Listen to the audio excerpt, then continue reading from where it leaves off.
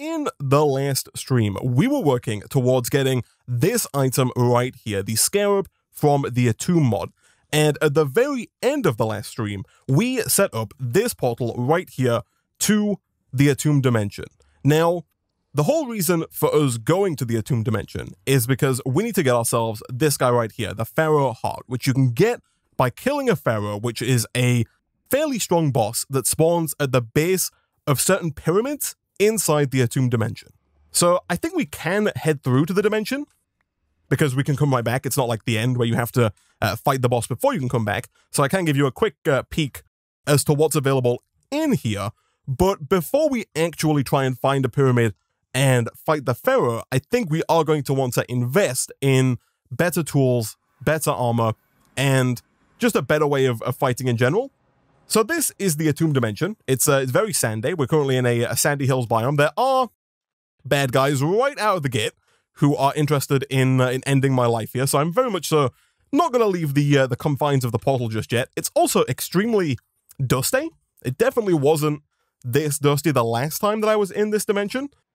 So someone in the Twitch chat has pointed out that if you turn fog off, it does look significantly uh, more open here in the Atum dimension, and you can kind of see what's uh, what's going on here. But uh, for now, we're going to head back because what I want to work on in today's stream is I want to work on these top four quests here. The fission reactor, oh sorry, the fusion reactor, followed by this ingot right here, followed by the end cake, and followed by the dragon egg. The reason for that, as I've mentioned previously, is that I think before we start fighting uh, the Pharaoh, the Spirit Guardian, and the Gaia, we're going to want to have the best possible armor that we can get.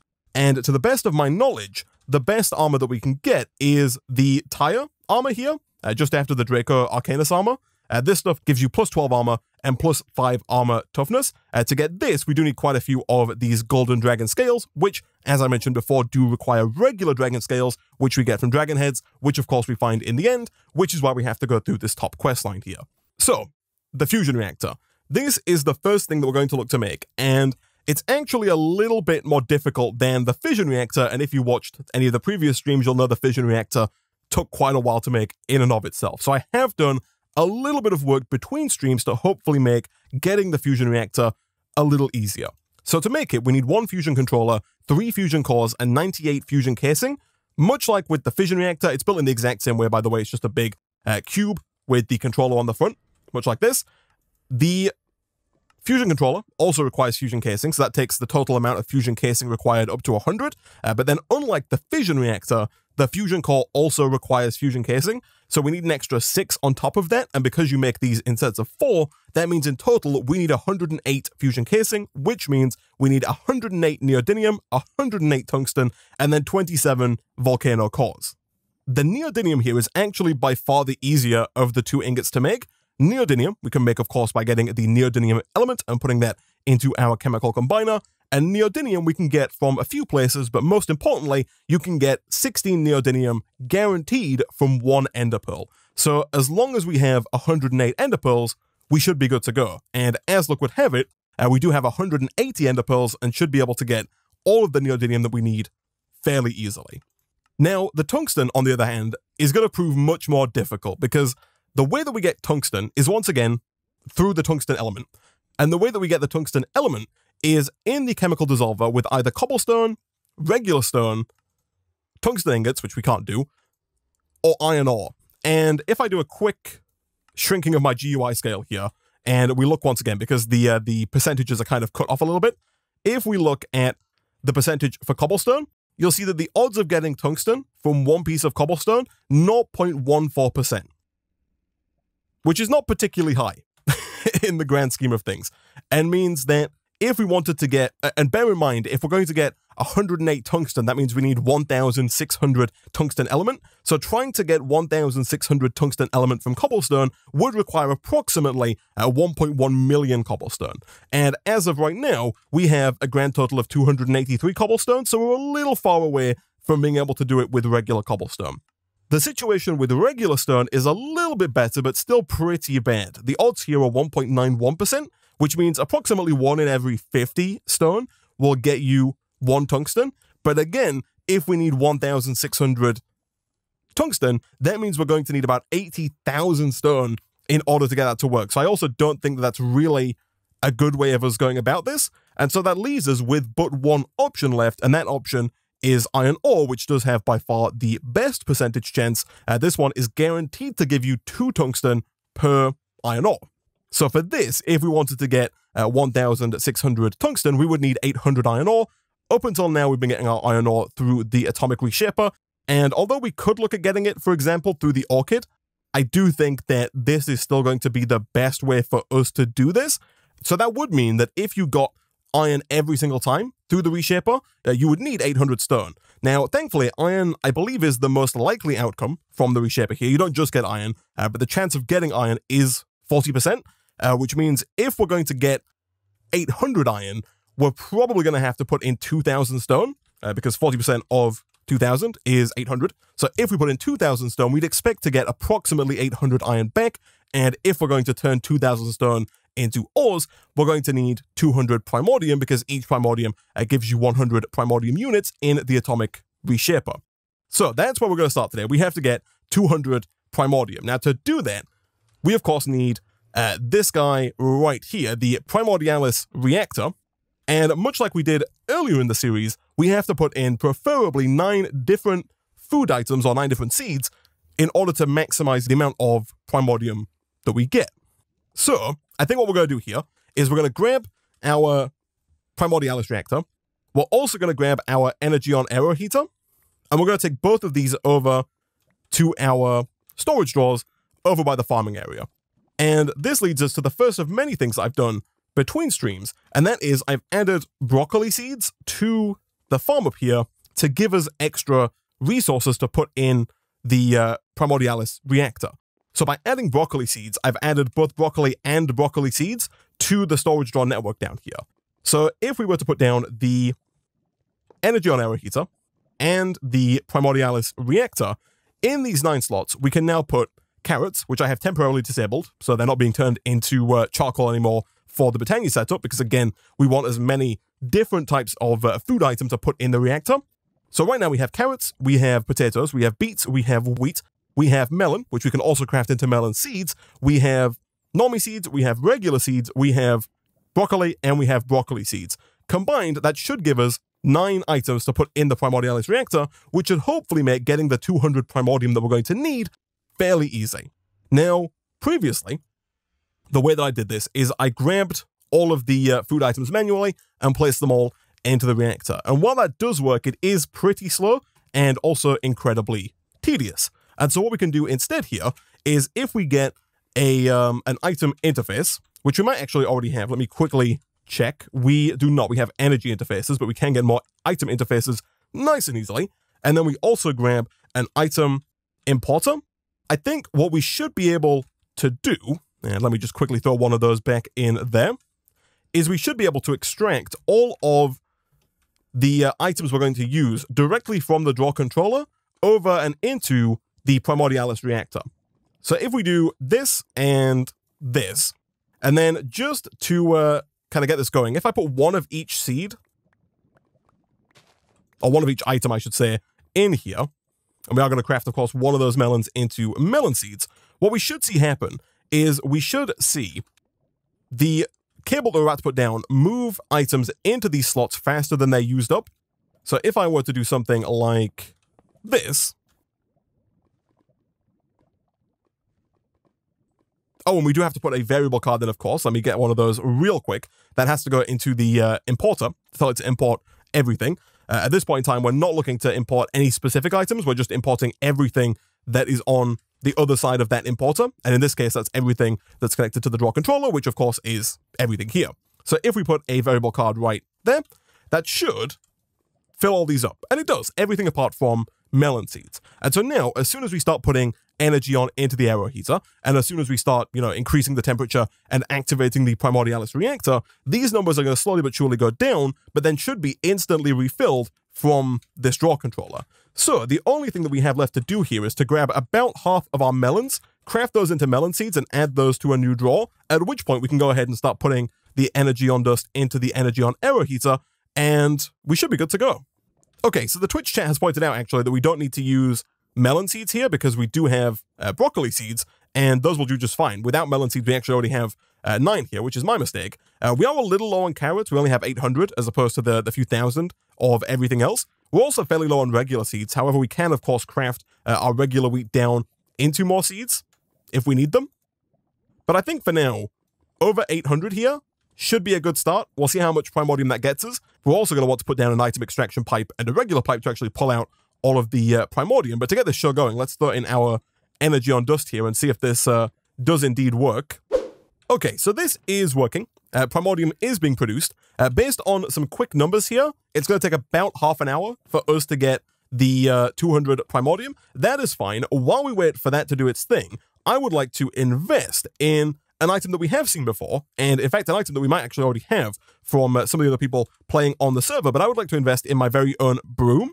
So if we take a look in the Origins of Darkness book here, and uh, if you want to get to the broom page, by the way, uh, from the main page, which is somewhat, the, the book's a little difficult to navigate sometimes, but from the homepage here, you can go to the index and then just look for broom, which is right here. Brooms are typically used to clean floors. I notice, however, that creating them using crushed dark gems and dark sticks and infusing them with a constant stream of blood, they seem to gain some very interesting qualities. So, essentially here, brooms are made of three parts. They're made of uh, broom rods, broom brushes, and broom caps. And if we look in JEI here, we go ahead and type in uh, broom, you'll see all of the parts required. The rods, the brushes, and the caps. And depending on which broom, rod, and, oh, sorry, which rod, brush, and cap you use will change the properties of the broom. So for example, with the rods here, if you hold shift over any particular rod, you will see that, for example, this stone rod here has a speed of 50, a maneuverability of 30, and an acceleration of 10 with a sturdiness of 20. Those are the four stats that it has. Uh, if we were to then compare that, for example, to the Blaze Rod, which I think is probably the rod I'm going to go with, uh, this one has a speed of 250, so it's five times faster than the Stone Rod. Uh, it also has a much higher maneuverability, a much higher acceleration, 10 times as fast, as well as a levitation of 50, a flame of 2, and then no sturdiness. So I'm actually not quite sure what uh, flame or levit, oh sorry, flame or sturdiness do. Levitimity is how fast the broom can accelerate upwards, which, if we're going to fight the End Dragon, is going to be particularly important. But uh, maneuverability is how easily it moves from side to side, speed, how fast it goes, acceleration, how fast it can get to its top speed, and then as mentioned before, I have no idea what the sturdiness or, uh, or flame do. It might mention it in the book, but I don't think it uh, really should matter too, too often. No matter which rod we go for, or brush or metal cap, uh, all of the rods, brushes, and metal caps do start out with a bare rod, a bare brush, and a bare metal cap. You then combine the bare version with two of the resource in question, and you get uh, a resource specific version of the rod, brush, uh, or cap. So we will uh, hopefully be able to make these fairly easily. Let me check how many dark gems we have. We have 19 dark gems in here with seven uh, crushed dark gems. We also have six more dark ore in here. And I will very quickly grab our vengeance pickaxe and break those to get a couple more dark gems, just in case the 19 that we have is not enough. All right, so let's throw those back in the system here, and then let's see, do we have what it takes to make a bare rod, a bare brush, and a cap? I think that we should do. Uh, let's go ahead and make five of these rods here. Do we already have one rod lying around? Uh, we do not, so we are going to have to make uh, eight sticks there. That is fine.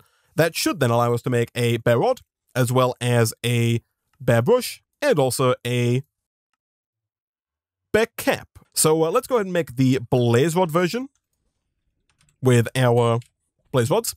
So two blaze rods and one stick. Boom, there is the center of our broom. As for the brush, I'm kind of tempted towards the feather brush, which has a levitation of 200. Because again, by default, and I guess we can kind of look at the broom that we already have here. Uh, this one has uh, a blaze rod, a wool bush, uh, a wool brush, and an, an emerald gem cap with a levitation of 0 plus 150. So uh, if I get on this one right here, and we kind of try and fly upwards, it's not too bad actually. This works quite well. But the, the higher the number of levitation, the faster we can kind of ascend upwards. So I'm thinking that uh, we'll probably see at least if we can go with a, uh, a feather brush here. The feather brush, I assume is just two feathers and the brush, oh, it's three feathers and the bare brush. That shouldn't be a problem. We do have 39 feathers here from all the chickens uh, that we've acquired over the years. So uh, if we go and grab one of those, That then leaves us with the option of the cap. So there are a few caps here, like uh, Emerald and Diamond, that have some good stats, but they do limit the number of modifiers you can put on your broom to two. Whereas I think by default, there are three modifiers. Uh, modifiers essentially giving you a way to increase certain stats like maneuverability, uh, like levitation, like speed, like acceleration, all that kind of stuff. So I think I'm going to go with the gold cap here. It gives a good balance of all of the uh, other modifiers. Like it gives us extra speed, gives us more sturdiness, gives us more maneuverability. Uh, I quite like the look of this here. And uh, I'm going to assume that the cap is either this or, I was going to say all this, but it looks like it's just two gold there. Perfect. And then I think if we just combine all three of these together, one, two, and three, uh, in any shape, by the way, you can do this like however you want, you get a broom. So at this point, if we hold shift, you'll see right now it says modifiers 0 out of 3. Uh, again, if we look at the uh, previous broom that we have, did this person put modifiers on? Uh, they did not. They had five modifier slots, but they put no modifiers on whatsoever. So we can add modifiers to increase certain stats. For example, uh, if we put on redstone and a redstone block, we get the speed modifier, which gives us plus 10 to speed. I think if we look in the book here, it does mention all of the uh, modifiers. Yeah, so there's speed, acceleration, maneuverability, levitation, damage, particles, flame. Any colliding entity will be lit on fire. I see, okay. Smash, bouncy, witherer, hungerer, wither shield, toughness, efficiency, swimming, icy, and then it tells us the modifiers required to uh, to make those. Before I add any modifiers to the broom, I will go and put uh, some blood into it, which we can, of course, do over in our blood infuser. Between streams, I have spent quite a bit of time in this little cube here. So I grabbed some cobblestone and I kind of built myself into a cube and just went AFK uh, for two reasons. One, because that gets us a lot of blood, which we are going to need a fair bit of today. But then it also spawned in a bunch of wither skeletons, because if we look at the fusion reactor here, the recipe for the fusion core requires a nether star. And because we need three fusion cores, that means we're going to need three nether stars. And if we're going to make those like we've been doing up until recently in the chemical combiner, we're going to need a bunch of wither skeleton skulls to make that happen. And uh, thankfully, we do now have 10 wither skeleton skulls ready to go. So that shouldn't be too difficult for us to uh, to do. But either way, if we grab our broom and uh, we jump on it, uh, this one I think has slightly higher levitation, so we do kind of ascend quite a bit faster than the previous broom, which is quite nice. The speed, I think, is okay. I don't think we need it to be super fast. Again, mostly due to the fact that when we're fighting mobs, just being able to fly around like this is going to make our lives a whole heck of a lot easier. Uh, we also get the nice side benefit in that because we have the obsidian skull, we can kind of dive right down into the lava here. And unlike in the previous episode, we can actually get down uh, to bedrock fairly quickly with the broom, which is uh, a nice added side benefit, although we don't really need to get down to, uh, to bedrock anymore. Okay, so I think I'm going to go with levitation for our first modifier here. It's also being recommended to me that I use slime as one of our modifiers. Uh, this is going to give us the uh, slimy modifier for our broom here, uh, which apparently is going to reduce damage when I uh, collide with, you know, blocks in the world, which again in the nether is uh, is probably, oh sorry, in the end, when we fight the end dragon, is probably going to be quite likely. And uh, we can make the slime ball using the chemical combiner here with two sucrose and two protein. So let me check. Do we have uh, any protein? We do not. Do we have any sucrose? We do not. Now, I think we can get sucrose from sugarcane. And then as for protein, I know we can get it from rotten flesh, which unfortunately uh, we don't have. Where else can I get protein from? Spider eyes, spider webs, any kind of wool, which is interesting. I don't know if we have any string. Uh, any kind of meat. In fact, we should have chicken, right? Yeah, we got 71 chicken right here. So that seems extremely doable. And given that we only need the one slime ball, uh, just doing, I think, one chicken and one sugarcane might get us there. I think maybe one more sugarcane because I think it was two of each. If we then throw those in over in here, we'll of course lock it to slime, protein, sucrose, and a slime ball. Nice. We'll combine that up like so. And I think for my third and final modifier here, I think I'm just going to go with speed to give us an increased amount of speed to what we currently have. Uh, so for that, once again, we just need redstone and redstone, like so. And boom, we have our fully upgraded, for now at least, broom. Okay, so once again, I'm being corrected by the Twitch chat here.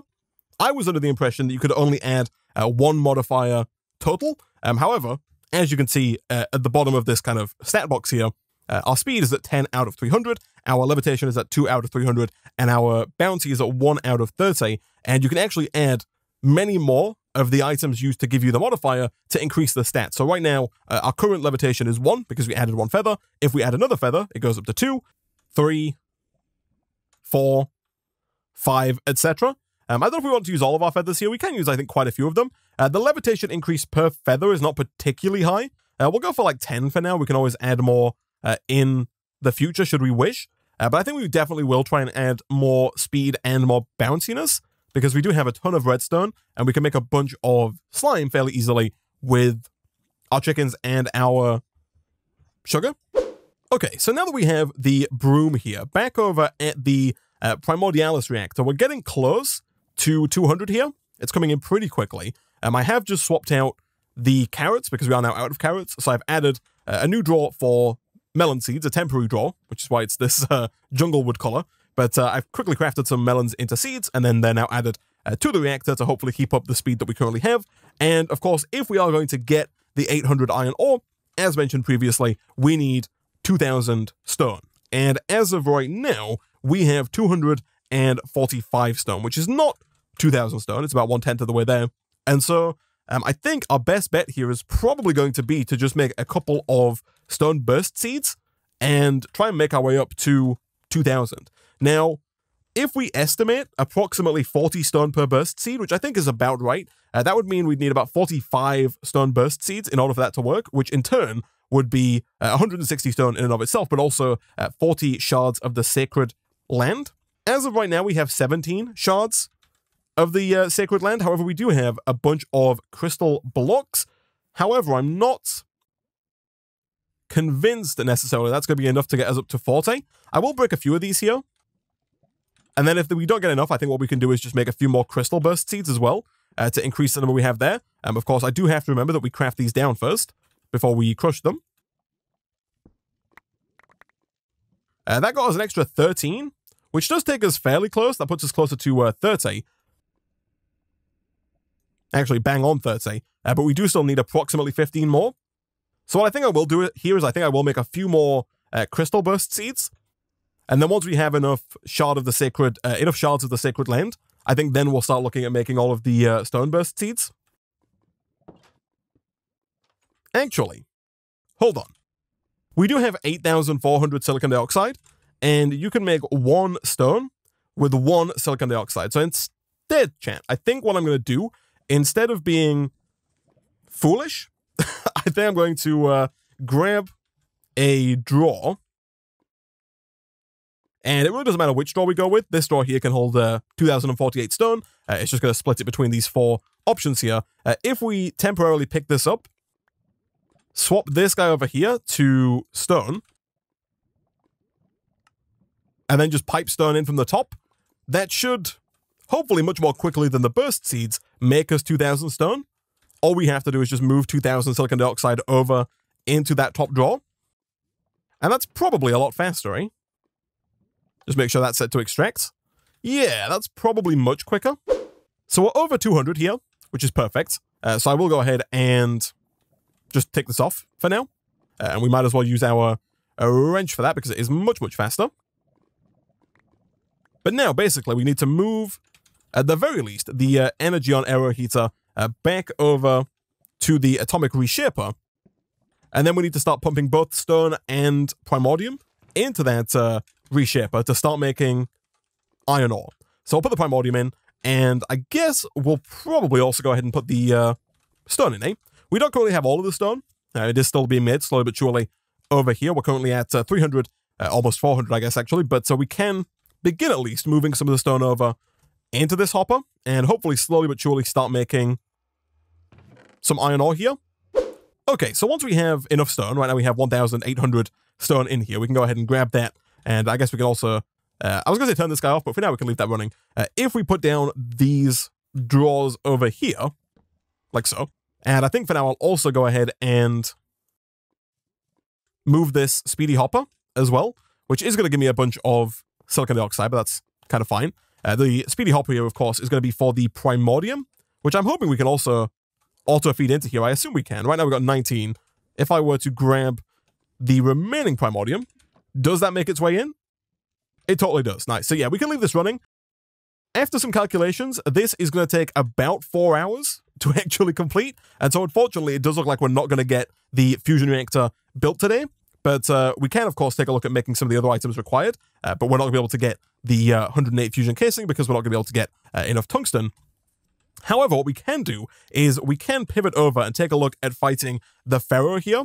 My original plan was, of course, to fight the End Dragon first, then get the better armor, then fight these three guys, the uh, Pharaoh, the Spirit Guardian, and the Gaia. However, we can mix this up a little bit and try and fight the Pharaoh first. To do that, all we'd have to do is get a fairly decent sword and hopefully some decent armor.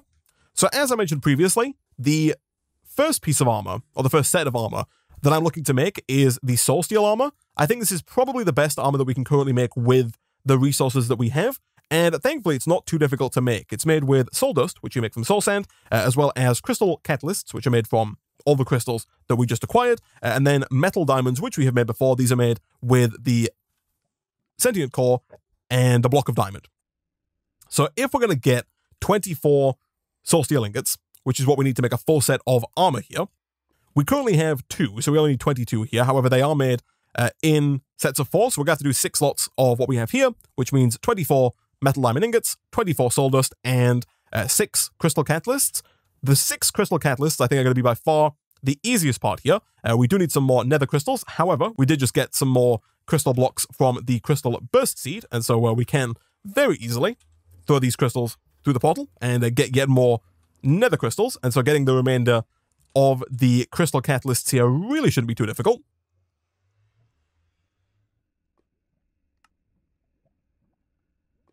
Good stuff.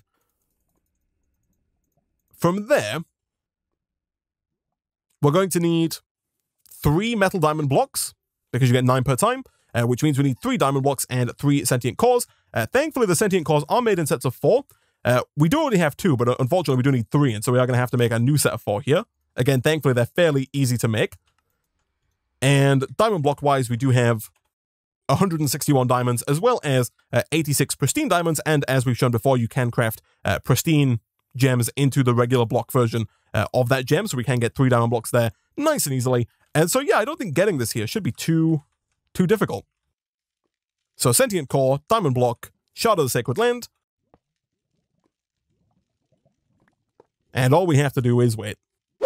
So a little while later, we now have four blocks of metal diamond, which is more than we needed, but that's also fine. That's because we had more sentient cores than we needed. And at that point, I think we're pretty much there, right? We might need more soul dust. Yeah, we do need a little bit more soul dust. However, we do already have the soul sand required. And given that you get four soul dust per soul sand here, we actually only need like three more soul sand to get all the soul dust required. And at that point, we should be pretty much good to go. We'll take all of these We'll begin smelting them up over in here. And 24 soul steel ingots later, and we should be pretty much good to go on making a soul steel chestplate, some soul steel leggings, a soul steel helmet, and some soul steel boots. Nice. That combined with all of the extra hearts that we get from eating a variety of foods should give us a pretty good chance here. Between streams, I have been taking uh, the generous food that was given to me by uh, a member of the Patreon server. I have been slowly but surely making my way through these uh, foods here so that uh, hopefully uh, we have enough hearts to actually fight the Pharaoh. And now the final piece of the puzzle, of course, is the weapon that we're going to use. Right now, we've got a diamond sword, and that's what I've been using up until this point. However, uh, a quick look through JEI here, I think the best sword available to us is the End Forged sword here from Calculator.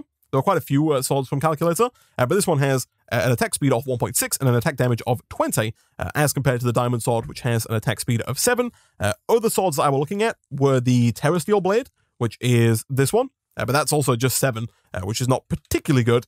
even the stuff from Forbidden and Arcanus, like the Draco Arcanus Sword, only has an attack damage of 11. So the End Forged Sword is probably where we're going to go. And thankfully, it's actually pretty easy to make. It's one stick and then two end diamonds. And as you'll know if you've watched the streams before, we've made a bunch of end diamonds. It is quite simply an end stone. In this case, we're going to take two, two electric diamonds, and two obsidian. Throw all those together in the atomic calculator, one, two, and three, and that gets us two end diamonds, which we can then go ahead and craft with a regular old Minecraft stick. And we get the End Forged sword. So on its own here, this might actually be good enough just to fight the Pharaoh as is. 20 is already uh, quite a high attack damage. However, uh, there are ways that we can make this even better through enchantments. So I don't know if we can enchant this directly. I assume we could, just in a regular enchantment table with bookshelves. However, if we get a Zora Steel Sword here, which I will bookmark temporarily, we can then use what is known as the Zora Altar to add enchants to that Zorra Steel Sword, which we could then move to the Calculator Sword through the power of Evilcraft. And the reason we'd want to do this is the Zorra Altar is actually pretty good at applying and upgrading enchantments uh, to the Zorra Steel Sword. It doesn't require bookshelves, and I think it might also be a little bit cheaper. So to make either of these, we do need more Zorra Steel ingots. Thankfully, now that we have the scientific calculator, we can do that with raw Zorra Steel ingots and Energion dust, and the raw Zorra Steel ingots are made with Zorra leaves and iron. Of course, we get the Zorra leaves from Zorra saplings, which we have, and uh, thankfully we already have quite a few Zorra leaves ready to go here. We might have to get a few more of them because the Zorra leaves are also used in the Zorra altar. But uh, for now, though, if we get the eight uh, raw Zorra steel ingots we're going to need here, along with eight Energion dust, and that does remind me that we should probably put some more Energion dust, yeah, into that Aeroheater, which has indeed uh, turned itself off. But uh, real quick, if we do uh, that, that gets us the 8 Zorra Steel. Let's also go and do this. It might be worth setting up a hopper down here to uh, to keep pumping uh, Energion in as well to make sure that it keeps going between streams, but I'll figure that out in the future. Oh, so as a reward for the first Zorra Steel ingot that we handed in, we got the Zorra Steel altar. So uh, I did make too much Zorra Steel here. That's not really too big of a deal. We'll quickly whip up the sword. And so if I go ahead and pop this guy down, let's say right about here, and we look inside, we'll see like a traditional Minecraft enchanting interface, but uh, this time around we need uh, Zorra leaves as opposed to lapis. So let's go grab a stack of Zorra leaves here, or as many as we have. And if we look in here, this altar here offers three options to us. The first option gives us an enchant. In this case, it's Bane of the Arthropods. And for three levels, we can get Bane of the Arthropods 1 onto our sword. Not particularly interesting. I don't think we really need Bane of the Arthropods. The second one here will increase a stat that's already on the sword. In this case, it's showing plus one sharpness. And then if we were to give it plus one sharpness, it would then offer sharpness two, sharpness three, sharpness four. Uh, so this middle one always gives you an increase to a enchantment that you already have, I believe. And then the third option here gives you a random enchant. It's quite cheap. So this, for example, only costs one, uh, and thus is very cheap, but we'll give you a random enchant. So we could get Fortune, we could get Bane of the Arthropod, Sharpness, Smite, whatever enchant it is. I'm going to click this middle option here because that gave us sharpness, and sharpness is what we're after. And as you can see now, we can upgrade to sharpness 2 by clicking the middle one again. And we could do it again in sharpness 3. Uh, each time, the top one changes uh, for the new option, and the random one also changes. But for now, I really just think that we're after sharpness 5. Once we have sharpness 5, we then need to move that sharpness over to our Endforged sword, because that's where we want to move the extra attack damage to. And that is where our good old friend, the Blook, comes in. Uh, I didn't say that wrong. That is a blood book from Evilcraft and is made by putting a regular book, uh, a regular book into the altar. Uh, let's have a look. Do we have a regular book lying around? We do not. And I'm going to assume that we also don't have what it takes to make a regular book. Oh, we do. Look at that. So if we go and throw that into our blood infuser here, that's going to get us a Blook. Good stuff. And then once we have this, we then need to get ourselves this guy right here, the Purifier. And this is what's going to allow us to strip the enchantment off of our sword and into that Blook. So to make the Purifier, we need a block of dark gems, as well as four more dark gems, a blood-infused core, which is a dark power gem, surrounded by hardened blood shards with yet more hardened blood shards here. So we need quite a lot of this hardened blood. Uh, thankfully, we do have a good amount of hardened blood, and we also do have a drying basin that we can use here. So a couple of hardened blood blocks later, we can go and begin smelting those over in here. Uh, we do need one of them, right? Also, we do need to get rid of that wither skeleton who has spawned on the wrong part of our spawner. We should really look at making our spawner bigger if we want to prevent these things from happening, uh, because you'll see that sometimes they do spawn on the walls. I think if I was to make the platform one wider, so a 13 by 13 instead of an 11 by 11, uh, that all the wither skeletons would spawn on vector plates. That's uh, probably something we should look into. Uh, either way, back over here, Uh, do we have enough dark gems? I think we do. Even if we didn't, we are, of course, making more dark gem ore over here. Yeah, we got 10 more dark gem all over there, so even if we didn't have enough, uh, we would be good to go. But uh, I think we should be pretty much good to go here. Uh, we are going to have to get a dark power gem, which thankfully now we can do in our blood infuser. No longer do we have to get five buckets down on the floor. We can just throw you in like so.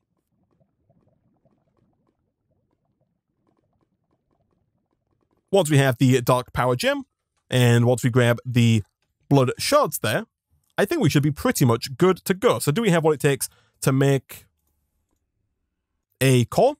We do. And from there, we just need to get everything into the system. And boom, we have a purifier. So the way this works, if I'm not mistaken, is we place down the purifier. In this case, I'll put it down, let's say right here. We can then place in the Blook. That's going to receive the enchantment. We then need to fill this with three buckets of blood, which is the maximum that it can hold. So one, two, and three. And then from there, if we put in our Zorra Steel sword, that should keep the sword, but extract the enchantment. So now we can pull out our sword, good as new, and we can also grab a Sharpness 5 book. Nice. So from there, all we have to do is grab a regular old Minecraft anvil, like so. And then uh, for now, we'll throw you down over here. And then if we combine up our Endforged sword with our Sharpness 5, we get an Endforged sword with Sharpness 5 and an attack damage of 23. We'll call this pretty powerful. So I think with our set of Soul Steel armor and our Endforged sword here, we should probably be able to fight the Pharaoh. The trickiest part, I think, about getting uh, about fighting the Pharaoh is going to be finding uh, the Pharaoh because the Pharaoh can be a bit of a pain to uh, to track down. Uh, so I'm going to empty my inventory a little bit here, and I'm also going to grab four royal torches because I believe we need these in order to actually activate the Pharaoh fight. So let's head on through to the Atum Dimension. So once we're here, we're looking for a pyramid, which is probably easiest found on the minimap. But essentially, we're going to do a bit of flying around here and try and find the Pyramid of the Pharaoh. Okay, so this is the pyramid that we're after. We need to uh, to dismount. We need to uh, maybe deal with these ghosts. Thankfully, the uh, sword that we have is pretty good. And also, another benefit of this sword here, it's unbreakable. It doesn't take any any damage, which is super nice. So I believe here we have to look for like a specific entranceway to the pyramid. So one of the four sides will be the entrance. And I think it's pretty obvious which one it is. I think it might be this one right here, actually. Yeah. We maybe could have done with bringing some uh, regular Minecraft torches, but uh, yeah, in fact, you know what? Let's do a quick slash home and let's grab some regular torches here. We can then do slash back. And now we can uh, throw these down as we make our way through the pyramid.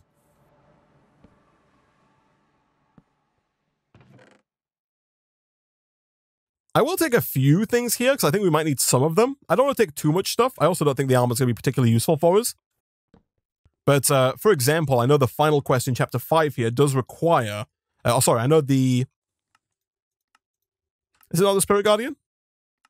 Oh, here it is.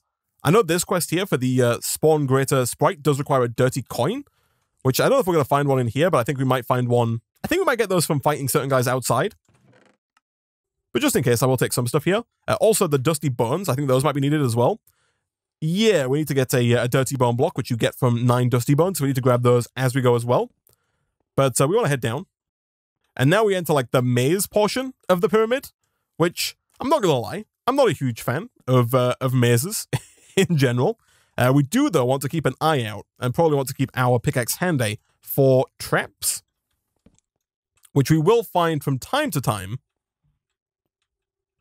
on the way around. I think whenever we find a, a liner that goes down, we want to take it. Traps look like this, or this is a type of trap. If you just left click, or sorry, right click, that will diffuse the trap. Those traps can also appear on walls as well, like that, and also like this. Uh, but I think we're actually also, I yeah, keep out of the way that, that guy. Uh, but I think we are possibly on the right level here already. So this is what we're after right here. This is the Pharaoh room. And I'm fairly certain all we have to do to activate this fight is place down the four royal torches around the sarcophagus. So here, here, here, and here. And then right click. Okay, so someone's already been here, which is why there were blocks here, and also why there were no mobs on the way down. That makes a tremendous amount of sense, which is unfortunate. But it does mean that we are going to have to go find another pyramid. This one looks a lot more promising because this one doesn't have the entrance way dug out. Like the last one, we could see the entrance uh, from the surface, whereas this one we can't. So I'm a bit more confident that this one has what we're after. Okay, so here is the entrance. Unlike the last time we were here, I think there were going to be mobs inside. Yeah. So this, I was a little confused last time as to how easy it was. Now it makes a lot, uh, a lot of sense. Uh, okay, we might have to kill some of these Forsaken before we can press on.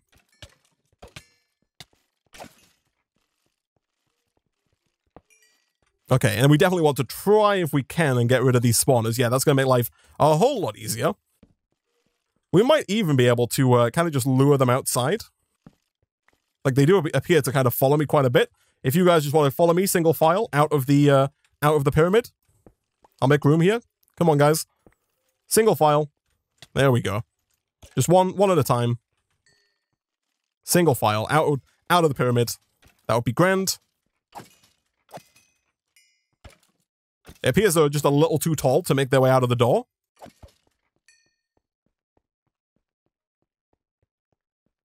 If nothing else, though, the last pyramid did give us a uh, a decent idea as to like what the pyramid layout is like. So now we need to do the exact same thing again. This time there are probably going to be more traps like this right here that you want to take care of, especially when turning a corner. The pyramid loves to put them down on corners to try and kind of get you. Okay, so here's the room again. This time it makes a lot more sense because there is already one royal torch down, which is kind of what I was expecting. I am contemplating kind of stealing the idea that uh, the last person had, and maybe using some of our cracked limestone here, not the uh, the sand, to maybe form like a bit of a blockade. Because we have done this before. We did it in the uh, the antimatter chemistry series, and from the best of my knowledge, I don't know if, if we come back here, we might be able to kind of just hit him through the through the hole. So if I right click here, the pharaoh turns over in their sarcophagus. Oh, we have to replace this one, of course. There we go. If I right click and I do that, can I somewhat cowardly fight the guy through this little hole in the wall here?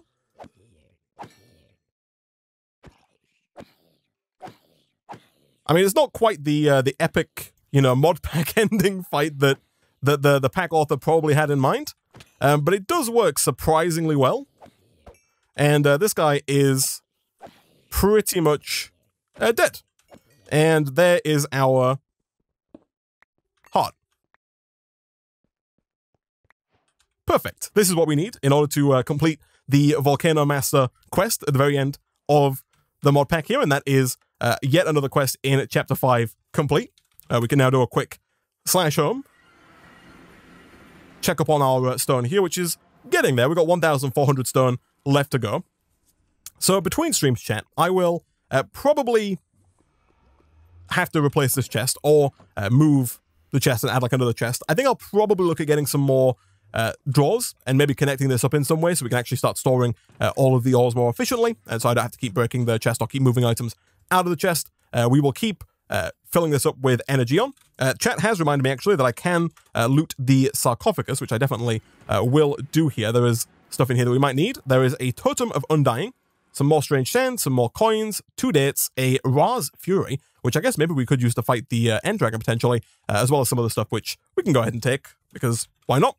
But yeah, between streams, I will continue to get uh, this going. Uh, so hopefully next time when we come back, we will have the 800 iron ore required to get the 1600 tungsten required uh, to build the fusion reactor, get this ingot here, and by get that I mean get eight of those ingots because then we can use those to make the end cake, fight the end dragon, uh, get ourselves hopefully some better armor, and then look at fighting the Gaia, the Sprite Guardian, and maybe getting the steel donuts as well.